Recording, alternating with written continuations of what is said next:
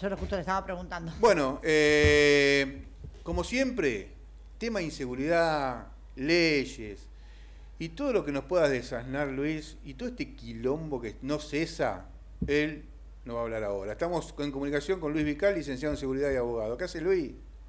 ¿Qué tal? Un gusto escucharlos. ¿Todo bien? Bienvenido, Luis. Un gusto. Todo bien, todo en orden. Bueno, ¿tiene calor? No, no, no me digas que tiene calor porque yo me lo dijeron 70 personas que tienen calor. Bueno, nuevas autoridades en la policía, eh, tanto en la Policía Federal como en la Policía de la provincia. Eh, hoy asumieron la nueva jefatura. Exactamente, es, una, es un clásico, ¿no? Es decir, cuando una gestión se retira, una gestión política, la fuerza de seguridad en general también cambia su, su cúpula, en algunos casos la plana mayor completa por razones de antigüedad y escalafonamiento, y en este caso, bueno, en Policía Bonaerense y, y otras fuerzas de seguridad también han, han cambiado sus cúpulas. Eh, ¿Cómo ves el tema de que, primero, el, esta medida antipiquete, y después que la PCA y penitenciarios se, se sumen a la fuerza para controlarlos? Sí, eh, a ver, son dos respuestas, ¿no? Es decir, primero, yo estoy en contra de una legislación que de alguna manera contribuya a ordenar el derecho del resto de la civilidad al libre tránsito, no al libre desplazamiento.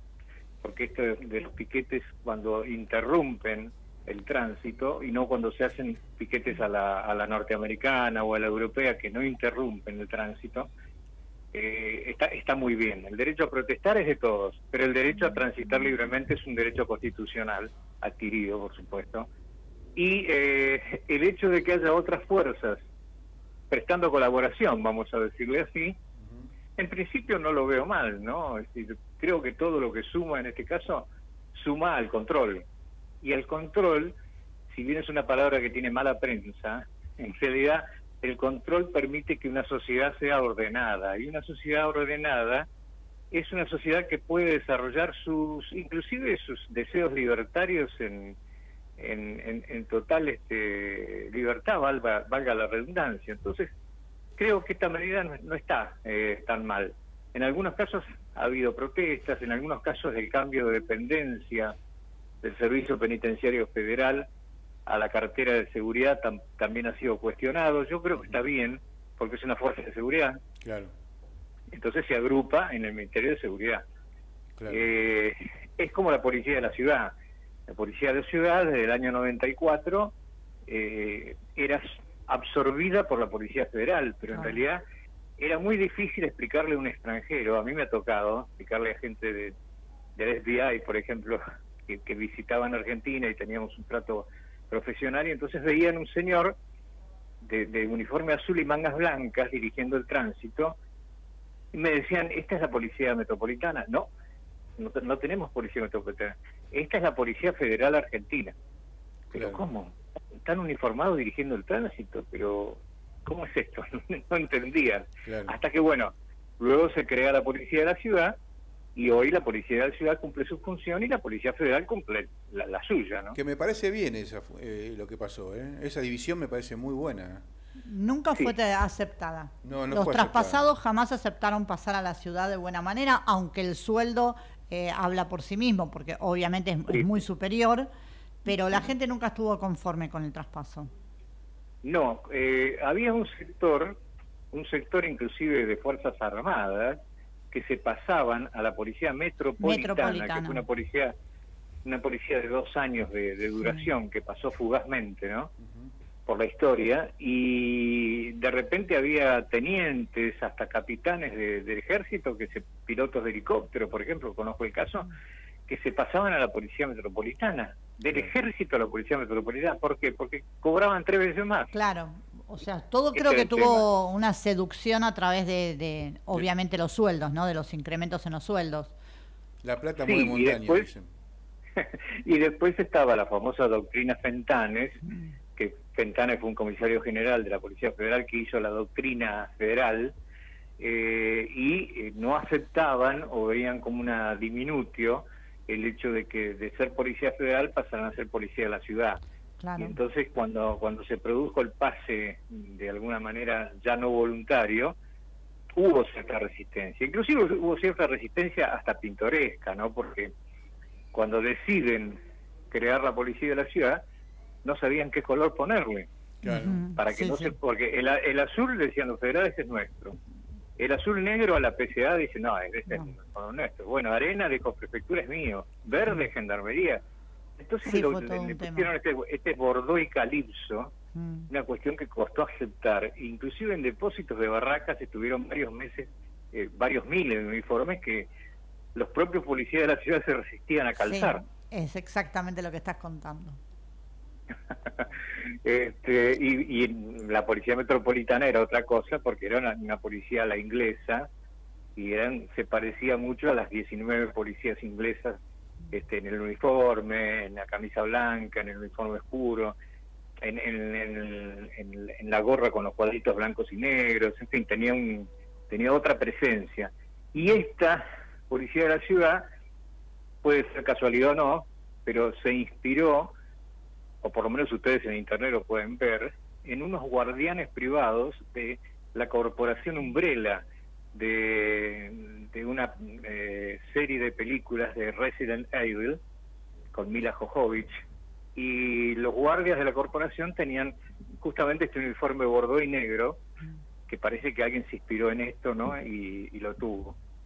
Así que bueno, pero, tiene que ver con el arraigo y tiene que ver eh, en muchos casos con una vocación profunda que lleva el ser policía, porque este año cuando tuvieron que entregar ya no se usa más la chapa de pecho, la famosa chapa de pecho del policía dejó de, estar en uso y costó muchísimo eh, que se desprendieran de esa chapa. Hubo gente que no mm. la quería dar, aún a riesgo de que lo sancionaran por ese motivo, pero costó muchísimo.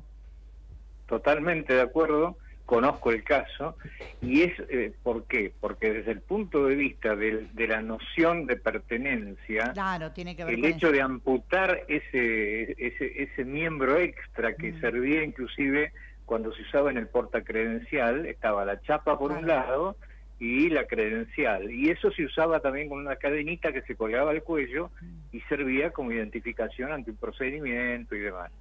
Ahora, bueno, quedaron con una suerte de, de banelco policializada, es una tarjetita este, que no dice mucho y, bueno, y inclusive los, oficiales superiores en retiro, como es mi caso, tienen también una, credencial plástica que está entre las de eh, del formato IPF Premium y qué sé yo, y bueno, y sale la tarjetita esta, ¿no? Claro. Pero es cierto. Pero bueno, algo, algo que te identifique está bueno siempre. Escúchame, eh, cumplen la función que tienen que cumplir, me imagino, distintas fuerzas y todas tienen el mismo objetivo, ¿o no? El orden y el control, por supuesto, el control para el orden, mejor dicho. Por eso, entonces digo, la policía de la ciudad, porque, a ver, me parece a mí, no soy un especialista en el tema, pero no dejar entrar a los piqueteros a la ciudad es tan fácil, es muy ah, fácil. sí. ¿Me entendés? Entonces, bueno, eh, entonces, bueno, digo, eh, si vos no lo dejas entrar, no corres el riesgo de actuar y no corres el riesgo de que se armen unos desmanes terribles porque van a querer hacer cualquier cosa y te evitas un problema. Sí, estoy de acuerdo. Estoy de acuerdo. Para evitar un coste y Santillán, por ejemplo. Y sí, tranquilamente. Este, eh, justamente para que no se desmadre la situación e inclusive por una razón estratégica que es la del fuego amigo o propia tropa o eh, operación encubierta de, falsa moneda o falso Es decir, yo me infiltro entre el movimiento piquetero sin serlo para producir desmanes que haga que me repriman como movimiento piquetero y que tenga un par de muertos, heridos y que haya y, que y la cosa después este termina con el gordo tumbero este atacando el Congreso con un bazooka de eh, casero. casero sí. Pero bueno, eh, yo sé que la, libertad a expresarse sirve, está buena, eh, es un derecho adquirido, pero más allá de eso, si vos no los dejás entrar, ¿qué pasa?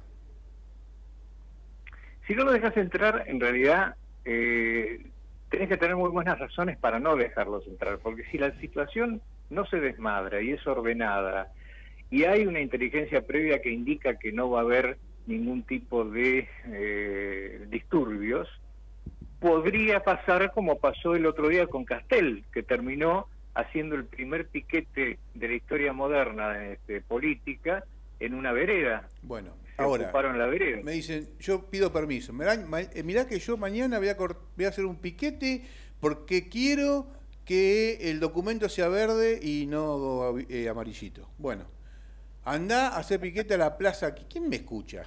¿Cómo hago quilombo si voy a la plaza? ¿Cómo hago que, los medios estén presentes? Claro.